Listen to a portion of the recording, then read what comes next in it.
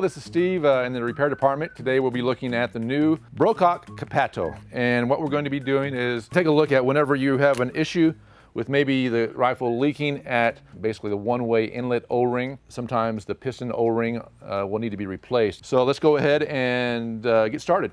You can't unscrew the cylinder right now because of the air pressure. So you'll need to loosen up the gauge and release the air that way, or you can shoot it down. I, I prefer to go ahead and just remove and just crack open the pressure gauge. That way it's allowing air pressure to escape from the cylinder. And we'll go ahead and let that bleed all the way down. And then we'll go ahead and proceed.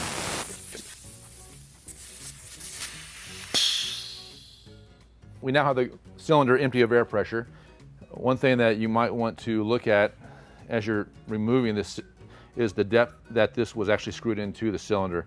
Uh, it, that's important because whenever you put this cap back on, you'll want to basically line up the probe hole with the cylinder, the, the cap itself, and you want to make sure that whenever this is all the way flush, that those two are not out of sequence, that they're lined up.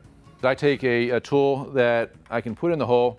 It's not going to go all the way through because I don't want it, actually, I don't want to scratch the, the shroud unit here. So the, the tool itself, I'll put it in and I'll, I'll start turning. Now in this case right here, it's turning very fairly easy. And at one point, you should be able to take and remove it with your, your fingers. Okay, there we go. I'll go ahead and I'll examine the O-rings just to make sure that I didn't do any damage. Inside, you have a brass piece.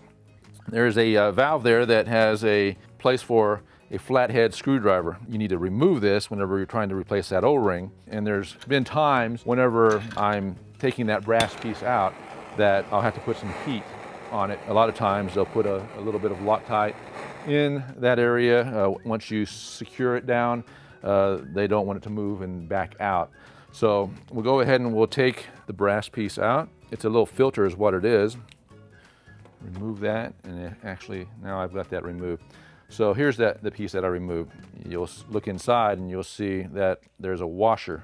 And so you'll want to go ahead and take that washer out and lay that aside. We're at the point we're going to go ahead and remove the, the piston. I'm going to take the probe that comes with the gun. I'm going to go ahead and, and push the piston in.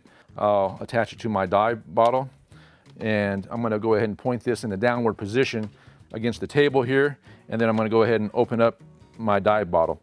Uh, I should hear a little pop is what I should hear.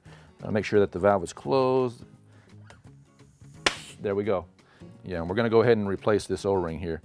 Uh, this O-ring is uh, just a very common O-ring. This is a pretty hard O-ring, so there's some individuals that can actually pop the O-ring into place with just their fingers.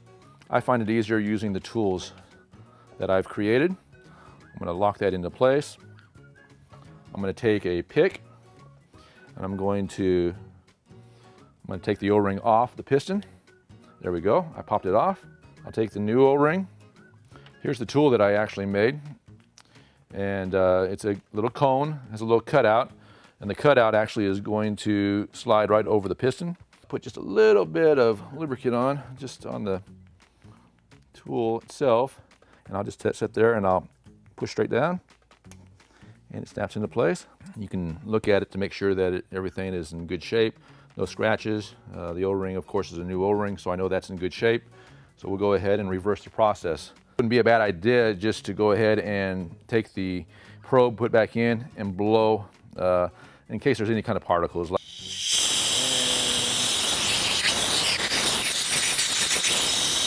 Okay, let's clean that up a little bit, making sure there's no particles inside that valve. So whenever you're putting it back in, it's gonna be, drop in just like, like so. The washer just drops into place. then we'll take the brass piece. I recommend a, thread, a Loctite of some sort. Uh, I don't go extreme on the Loctite on these pieces because you might want to replace it again and you want to get this brass piece out. Drop this into the valve itself, like so. Usually I, I say go flush with the uh, the brass piece that we unscrewed, if you, if you go flush, you're probably gonna be in pretty good shape. So we're done putting the valve piece together.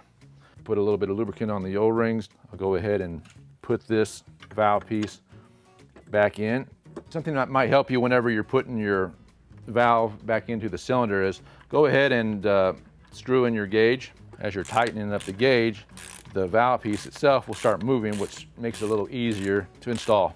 Remember, at the beginning of this repair, uh, when taking this valve out, I said keep an eye on the lower O-ring and make sure, know where it was at.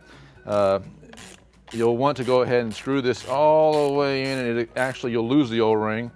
And at this point, you'll want to take the cap and you'll want to put it on just to see if uh, you've gone down too far. Okay, you want to make sure that the probe slides in easy. In this case, I know that I've gone too far, and so I'll need to actually set and, and back this out a little bit.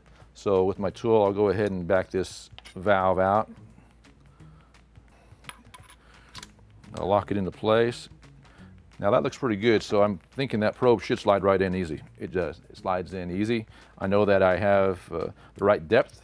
I'm ready to go ahead and tighten up the, the gauge. Uh, to tighten the gauge up, I'll go ahead and take the tool that we were using. Uh, I'll take this, hold it, hold it in place, take the valve, and I'll tighten it up just snug. Looks like we're ready to go ahead and uh, fill the cylinder up. I'm gonna top it off and I'm gonna put this into the red. It's got about 220 in it. Uh, I'm gonna go ahead and put the cover back on. This cap, it snaps all the way on. So uh, whenever you snap it all the way down, that's where you want to make sure that the hole is aligned correctly. Well, there we have it. We replaced the one-way valve inlet O-ring. Very simple procedure, something that I think anyone can do. Fantastic rifle. Uh, take a look at some of our other videos on this rifle. Until then, see you, see you later.